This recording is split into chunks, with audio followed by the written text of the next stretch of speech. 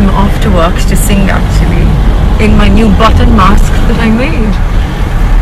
Do you love it? I do, it's so happy. I'm off to work to sing actually in my new button mask that I made. Do you love it? I do, it's so happy.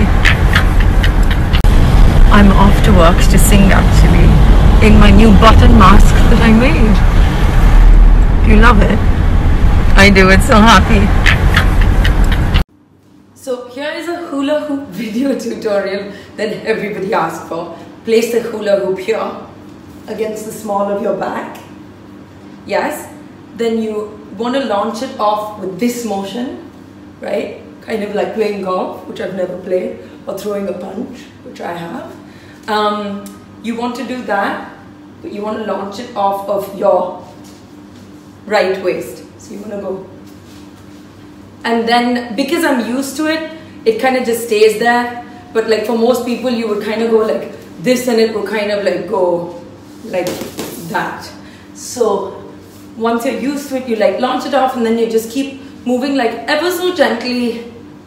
Keep practicing, you'll get it. I prefer a weighted hula hoop because it just makes it easier. There are some people who can like go up and stuff. I used to be able to, but those days are long gone. Enjoy hula hooping.